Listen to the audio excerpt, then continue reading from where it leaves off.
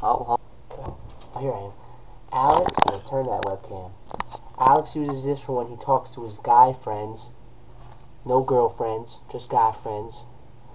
I'll make a public service announcement. There is a there's someone out there. Some the the bar barricaded, barricaded, we're barricaded. The air vents are locked. Everything's vent. That's Nicole over there. See? I could look at. She can fit her head in my fingers. Yeah, that's Nicole. She has no idea. Nicole, thinking about what can we do?